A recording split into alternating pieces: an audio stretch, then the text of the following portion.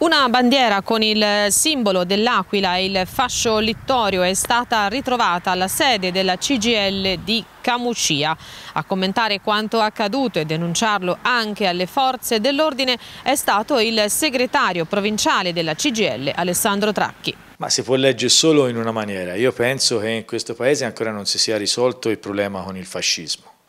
e quindi come CGL noi abbiamo la necessità di rispondere in modo forte e chiaro dicendo che la CGL già in quegli anni ha combattuto ha combattuto i lavoratori dentro le fabbriche, hanno combattuto i nostri dirigenti, i nostri compagni e compagne iscritti alla CGL perché volevano un paese che fondasse le proprie radici sulla democrazia. E quindi la CGL è stata la colonna portante con la quale si è realizzata la democrazia, la Costituzione e i principi costituzionali che abbiamo difeso fin dal giorno dopo portando la democrazia dentro luoghi di lavoro. Quindi noi non ci lasciamo intimidire, se qualcuno pensa che oggi il vento stia cambiando, sia cambiato, ecco noi a quelli possiamo ben dirgli che noi il vento lo sappiamo orientare bene e gli sappiamo anche a quel vento far gonfiare bene le nostre vele, quindi non ci facciamo intimidire. Sul caso indagano i carabinieri, la CGL ha chiesto anche che vengano installate delle telecamere di videosorveglianza. Vi siete spiegati perché proprio Camucia?